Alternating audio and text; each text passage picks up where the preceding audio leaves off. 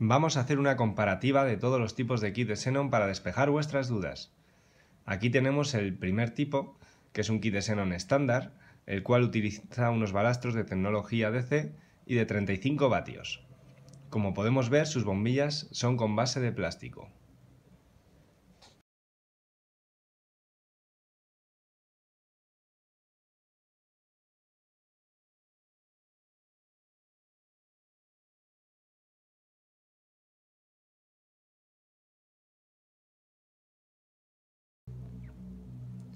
Este kit de Xenon es de la marca Cesfor, incluye unos balastros 35 vatios y con tecnología CAN es decir, si nuestro coche tiene fallo de luz fundida, este kit nos evitará cualquier problema.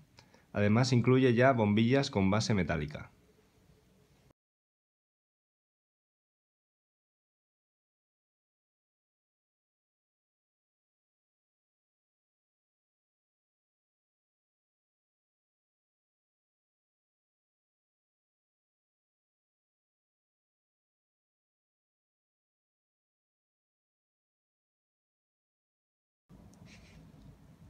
Este kit de Xenon también es de la marca Cesfor.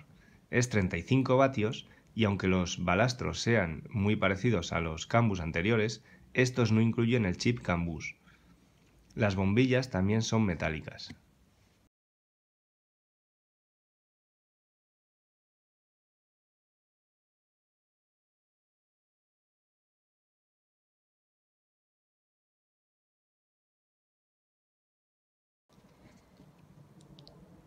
Este kit de Xenon de la marca Cesfor es el que recomendamos debido a su alta calidad.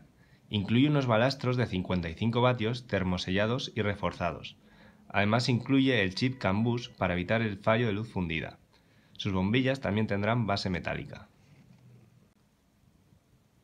Para finalizar tenemos el kit Cesfor 55 vatios y sin tecnología CAN el balastro es un poquito más grande para poder soportar los 55 vatios. Y las bombillas tienen base metálica.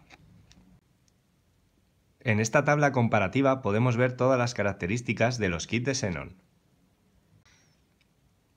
Por su gran acabado y calidad, recomendamos siempre instalar el tipo 4, que es 55 vatios, CAN y con tecnología digital. Si nuestro presupuesto no nos llega, podemos probar a instalar el tipo 2 o tipo 5, en función de las necesidades que nosotros tengamos. En ningún caso recomendaremos instalar el tipo 1, ya que es de una calidad bastante inferior al resto de kits. Antes de nada, simplemente comentaros que no es necesario quitar el faro del coche para instalar nuestro kit de Xenon. A continuación vamos a instalar nuestro kit de Xenon tipo 4, es decir, el de mejor calidad, en un faro. Para ello abriremos la tapa del faro y lo primero que haremos será quitar la bombilla original del coche, es decir, en este caso una H7.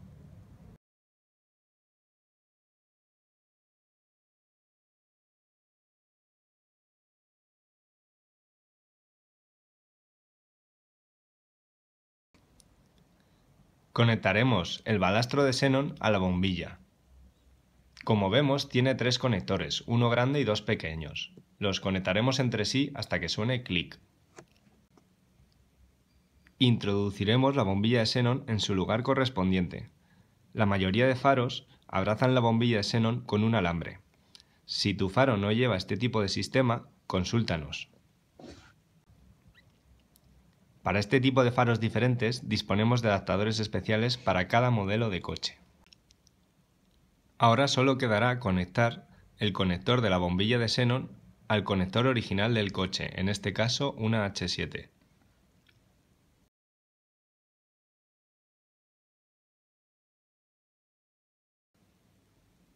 Ahora comprobaremos el funcionamiento de nuestro kit de xenón.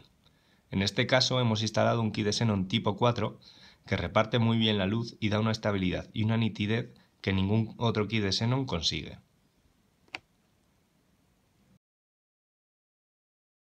Existen muchos tipos de bombillas de Xenon, es decir, En función de la base de la bombilla tendremos H7, H1, H3, HB4, etc.